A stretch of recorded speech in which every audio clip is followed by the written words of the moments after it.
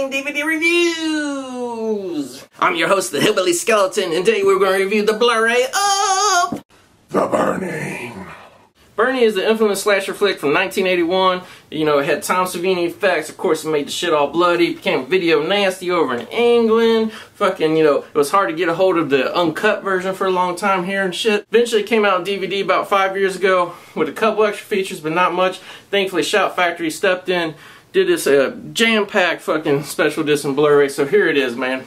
Burning is notable for a lot of reasons. One being the first movie produced by the Weinstein brothers. That's right, the guys who made Miramax and produced all these great films and shit. Well, this is one of their early fucking productions, you know, one of the first times. Because at the time they were like concert promoters and shit. And this is kind of like one of their first feature, you know, forays into feature filmmaking and shit. So, you know, they got the money together. And they actually came up with the story. The story, a lot of you may know, is based on Cropsy. The character Cropsy was based on, a, you know, a New York, New Jersey, Long Island legend back in the day. I think in the 70s, started this killing spree a lot of people thought it was this guy named Crops. He used to be a janitor or some shit at a fucking uh, institute of like criminally insane people, or maybe he was an inmate. The story changes depending on who you're talking to. That's who this is based on, but they took the setting from a mental institute of the real life urban legend and put it onto a summer camp. You know, probably to cash in on Friday the 13th. Let's be honest, Weinstein's ain't too fucking creative. The movie starts out Again, all slasher films have to start with a fucking prank. Well, the prank comes out, a bunch of kids playing a fucking joke on the groundskeeper janitor Cropsy. They put a little skull, and it, like with maggots and shit. So I don't even know where these kids would have got a fucking maggoty all skull and shit. But they fucking did, and they put it in this motherfucker's uh, little shack that he was living in and shit. So Cropsy wakes up fucking knocks that shit over, bed catches on fire, runs out of the cabin, the boys are like, oh shit, we didn't mean for this to fucking happen. So the next thing you know, Cropsy's jumping in the river, burned up, they chronicle his journey, you know, going to a burn ward and shit. A lot of slasher movies don't do that. They just show the motherfucker get burned up and then cut 20 years later. No, they showed this motherfucker was in the hospital. He got burned up. He checked out of the hospital, immediately started killing hookers and shit. And that's what I like about this movie, man. Like, yeah, Cropsy is like a boogeyman type, but he doesn't give a fuck. He'll go kill a hooker and he'll kill some kids at a fucking summer camp. This motherfucker don't care. So we cut to 10 years later, new crop people at the summer camp and shit. You know, typical Jason Voorhees type plot line and shit. Cropsy shows up, starts killing motherfuckers. But you know, standard plot, whatever. But this got a great cast, man. It's really going to make it memorable for you. They got Jason Alexander, motherfucker from Seinfeld. She got a real tiny background part, but it got Holly Hunter. You can, you look closely, see her. Fisher Stevens, like a little 14-year-old boy running around, fucking pulling his pants out, mooning everybody and shit. He's in it. So you got a strong cast of performers, you know, interesting people, you know, some of them you want to get killed, some of them you don't. There's a lot of fucking going on, a lot of near rapes going on, some sleazy motherfuckers in the summer camp. So Crops shows up, starts killing everybody, he's got garden shears.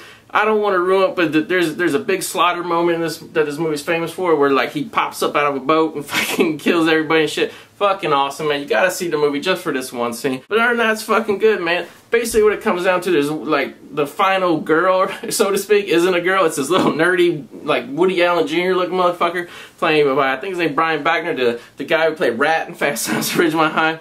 So the ending comes down to him getting chased through the woods by Cropsy and like one of the camp counselors that was kind of like a big studly guy. Turns out he was 10 years ago. He was one of the young boys who accidentally burned Cropsy. So you know he he comes and they have a big showdown. Then I ain't going to ruin it, but it's cool. Great special effects from Tom Savini. I mean, not a whole lot can be said about this. It's just a fucking typical slash movie, but it's well done. The villain has cool burned up face and shit. You like it, man. You have a good time, and they show some tits. So what else are you asking for out of early 80s slasher? Damn it. Skeletons gotta drink shit out straws. So The Burning being one of my favorite slasher films of all time, just fucking, you know, just so much fun.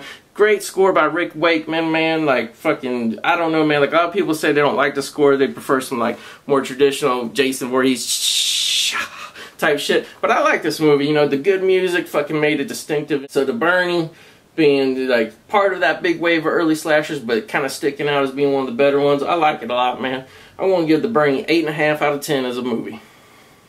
Picture and sound, this coming to you the Blu-ray from fucking Scream Factory. I gotta say, man, they did a good job. I don't know if the master they got was so good or they cleaned up themselves, but this shit is clean. Unlike some of the, early, you know, other Scream Factory releases like Terror Train that has speckles and shit, this shit looks clean. I mean, maybe there's a little pop here and there, but like I watched all the way through, I didn't really notice anything shitty going on the outdoor scenery, the camp, it looks fucking good. I mean, it looks probably way bigger budget than it probably really was. You know, it doesn't look cheap at all. And all that comes through with the high def visuals.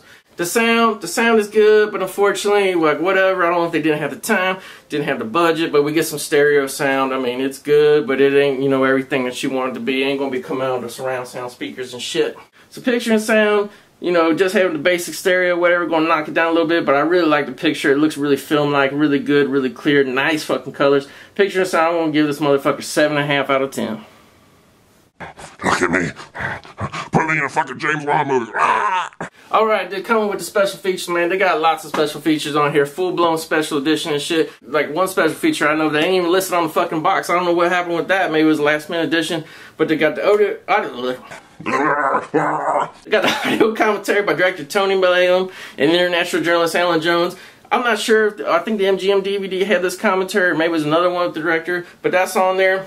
And they also don't say there's a commentary on there from I, I don't know which one I didn't recognize her voice but one of the main girls and one of the little side girls in the movie and then some dude I'm not even sure really who he was but they they actually give I think a better commentary than director because they remember a lot of little stories and shit of filming this cheap ass movie 30 years ago so I found that commentary really good and it ain't even listed on the fucking black they got blood and fire memories this is what it says on the back, but they don't really say like like I said. They I don't know why. Usually when they want to tell you every single special feature, basically they got an interview with Tom Savini now talking about doing the effects. They got an interview with the guy who played Cropsy. He's an old man now, shit, but he really enjoyed putting on this rubber makeup and hacking some naked motherfuckers up. So you know, kudos to him coming back. They also got the theatrical trailer and more. So yeah, like I said, they don't list everything that's on there special features a lot more than you think would show up on the fucking Burning, you know, true special edition, man. Special features, I really don't know what else they could have, unless they like chase down the Seinfeld motherfucker, which you ain't never gonna happen. He ain't gonna talk about this cheap ass shit.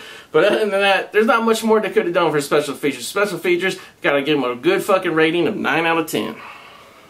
Okay, so The Burning Man, like I said, one of my all-time favorite fucking slasher movies. Liked it a lot, man. Be sure to pick it up. If you got the DVD, cool, but I still think you maybe want to spring a little bit of money and get this Blu-ray because it's fucking nice as hell.